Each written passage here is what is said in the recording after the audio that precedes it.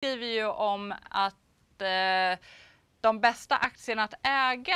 Jag tolkar det som att det här är en ganska defensiv position och ganska ocykliska bolag du pratar om då. Ja, du får ge cred till någon redaktör som hittade på det där tror jag. Men det här var ju egentligen det var ju Academedia som lyfte fram. Eh, det är ju ett väldigt enkelt case, det är en dikotom frågeställning. Accepterade politisk risk, ja eller nej?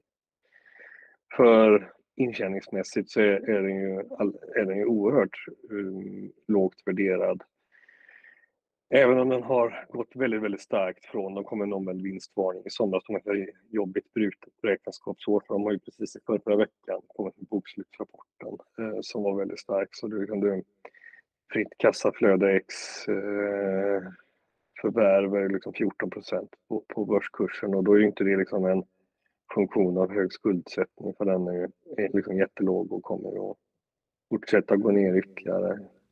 Ehm, men det är, det är ju den där politiska risken men jag, jag, jag tänker så här, finns det något eh, mer uddlöst och pragmatiskt än Socialdemokraterna? Nej, det gör det nog inte. Det, det kommer ju vara vapenskrammel liksom om att man ska göra saker med, med skolan och så här, men när det väl gäller så jag tror inte att det kommer att, att hända särskilt mycket där. Eh, det, det är ju liksom livs...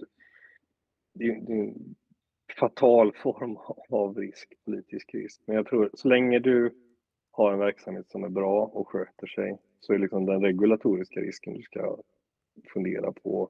Du såg vad som hände med Humana förra våren tror jag det var va?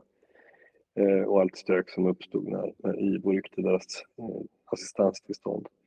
Så äh, jag, jag, tycker den här är eh,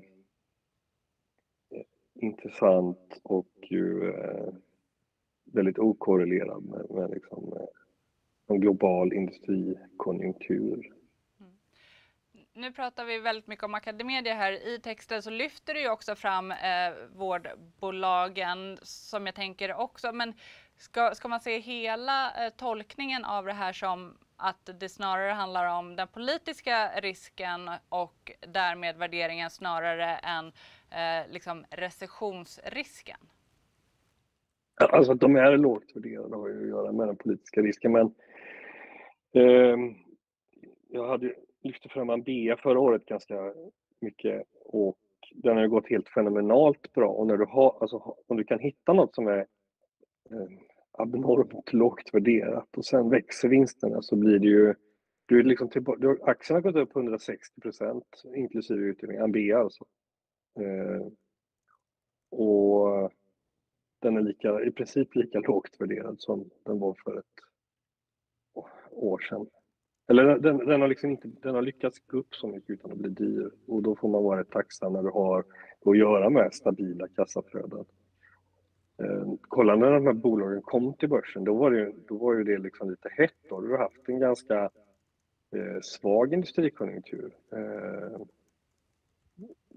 om man tittar på, kolla organisk tillväxt på de stora verkstadsbolagen under de där åren som var där. Eh, när de noterades runt 2016 så, så såg det inte så jättemycket ut. Då hade du ganska höga värderingar på de här bolagen. Och som med allting så liksom kan saker bli väldigt, väldigt impopulära efter bara, vad det nu är, bara åtta år. Rätt länge när man tänker på det. Nu blir jag oroad. Men eh, det rör sig, alltså värderingar på liksom tio års sikt, det rör sig väldigt mycket. Kan man tänka sig att äga saker som är impopulära så brukar det bli bra över tid.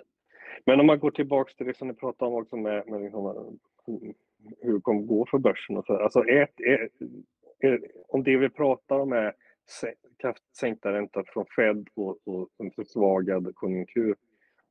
Det känns inte som temat som man vill ha om börs, alltså Stockholmsbörsen, konstitutionen, verkstadsbolag och storbanker. Jag vet inte om storbankerna kommer må superbra av, av liksom lägre räntor. Jag vet inte, och, och liksom verkstadsbolagen kommer inte må bra av, av um, svagare konjunktur. Så jag, jag, däremot så kan man ju då ta, man kan ta uh, Stenabåten till Danmark. Där finns det väldigt mycket bra saker. Det är, det är helt annan, ett helt annat universum om man tittar på börsen där och ganska mycket som är lägre värderat än vad det har varit. Som, det finns helt fenomenala bolag i Danmark som också, de har en lite annan approach, eller mer långsiktiga bolag också för att de har alltid stiftelser som ägare så de kan göra saker som de tänker inte liksom nästa kvartal eller, eller, eller nästa år utan de kan tänka liksom vad vi vill vara på tio års sikt och tänka den tanken på riktigt.